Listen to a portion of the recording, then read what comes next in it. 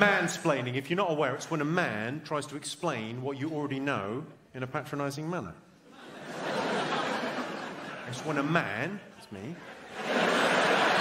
tries to put clever, clever thoughts into your pretty little brain. Do you understand that? Yes, you do. Yes, you do. You're so clever girl. You're so clever. That's a meta joke. Can you say meta joke? can't believe you said it.